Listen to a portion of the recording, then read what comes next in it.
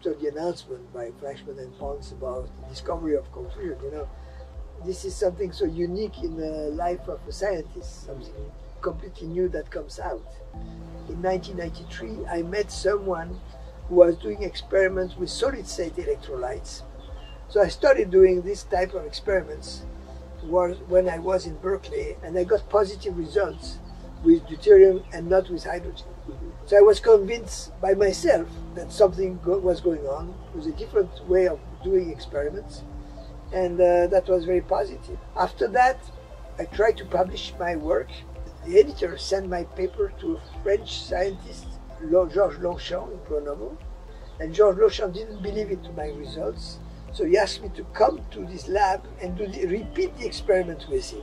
Georges Lonchampt was the only one beside Mel Miles to have reproduced exactly the experiment of and Fleischmann with the same type of cells, even the cells given by Martin Fleischmann. So I've, I've seen the results there already. In one of my experiments, after a conference in um, in Canada, you know, there was a guy who said you should use gold as an anode.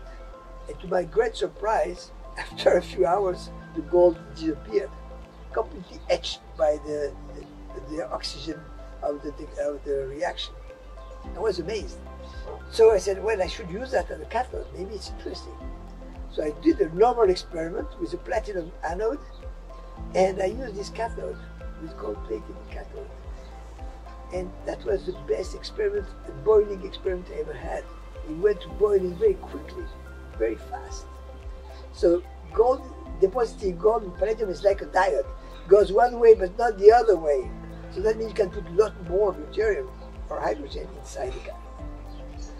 So I did that experiment that showed a lot of excess It was so fast and so powerful I couldn't measure it even. It was too much.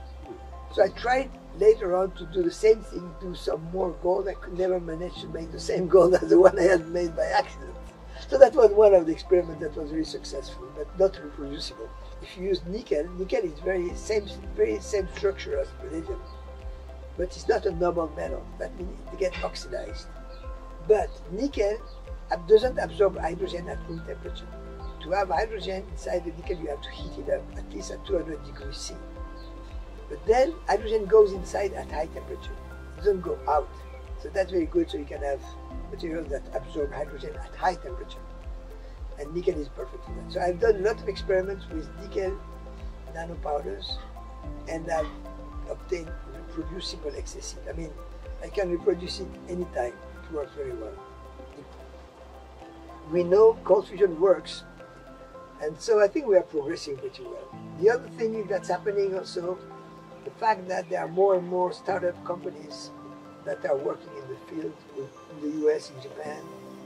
And um, that's important. That means that industry is interested.